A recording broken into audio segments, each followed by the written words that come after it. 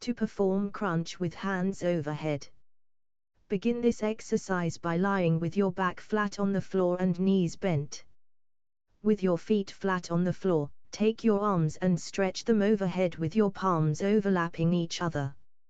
From the floor position, curl your body up from the abdominals and take your shoulder blades off of the floor, keeping your arms straight with your head.